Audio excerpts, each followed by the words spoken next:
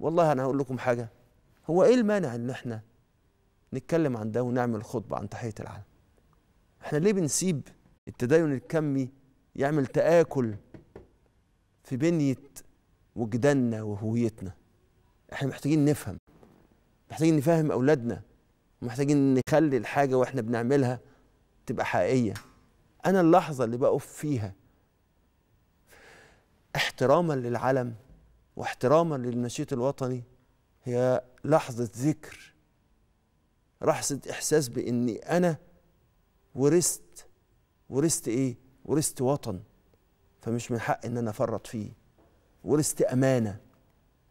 يا سادة أنا وبقول النشيد الوطني أنا حاسس إن أنا بحمل أمانة فخلوا عندكم عبادة عند أولادكم كده عبادة اسمها عبادة إنكم تعلموهم عبادة حب الوطن. اتفرجوا سوا على التقارير والأفلام الوطنية اللي بتتعمل عن حرب أكتوبر وتناقشوا وتناقشوا سوا. إحنا كان يوم احتفال أكتوبر ده ما زلت حتى الآن نسمع نسمع مع بعض الأفلام ونتفرج على أفلام أكتوبر ويبقى فرح كده. ويا سلام على النشوة والفرح وإحنا بنعمل كده.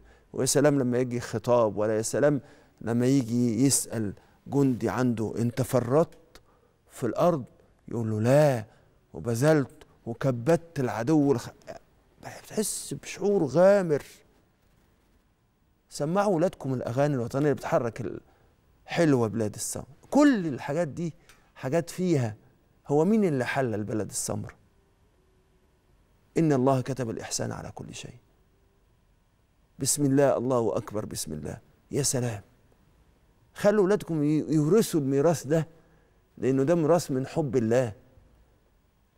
ميراثهم من حب الوطن هو ميراث من حب الله. واغرسوا في أولادهم في أولادكم إن حب الوطن من الإيمان. ولما نسمع مثلا كل بسم الله الله أكبر بسم الله كل الكلام ده لازم يعرفوا. وكل الكلام ده كان حديث عهد برب فيسمعوه. علموا أولادكم كمان إن احترام الوطن واجب وإن الوطن قيمة. وقيمة من القيم اللي محدش يقدر يتجاوزها. يعني لو كان الإنسان مر بتحديات في أرضه لكن يفضل الوطن قيمة عنده قيمة من القيم العليا ويبذل من أجلها وكمان روحه تفضل كمان عايشة مع مو- مولاها. يا سادة تحية العلم بتخليك تتعلم تتعلم إن الوطن أنت مش بتحييه لكن الوطن حياة. ولما يفقد الناس وطنهم بيفقدوا حياتهم.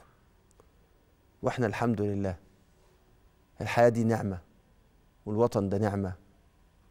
وعشان كده هنتمسك بوطننا ونحافظ عليه ونعيش فيه ونعيش ليه لأن كل ده هو جزء من عبادة حب الوطن. يا رب ديم علينا هذه العبادة وخلي قلوبنا دايما عمرانة بهذه العبادة وما تحرمناش هذا النور والبركة يا رب العالمين.